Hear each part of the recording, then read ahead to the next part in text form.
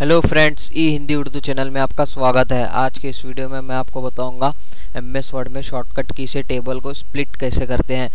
चलिए देखते हैं, यहाँ पर मेरे पास एक टेबल इंसर्ट किया हुआ है, जहाँ से आपको टेबल स्प्लिट करना है। जस्ट वहाँ पे आपका माउस कर्सर रखिए और माउस कर्सर रखने के बाद just control shift enter press कीजिए। ये देखिए स्प्लिट हो गया है।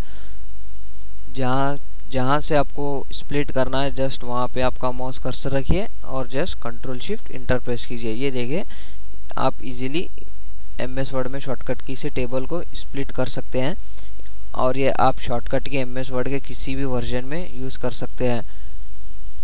जस्ट स्प्लिट करने के लिए कंट्रोल शिफ्ट इंटर प्रेस कीजिए। आप इजीली स्प्लिट कर सकते हैं। थैंक यू फॉर वाचिंग अगर आपको मेरा वीडियो पसंद आ गया हो तो प्लीज़ लाइक करें शेयर करें और वीडियो के नीचे रेड बॉक्स में सब्सक्राइब का बटन है।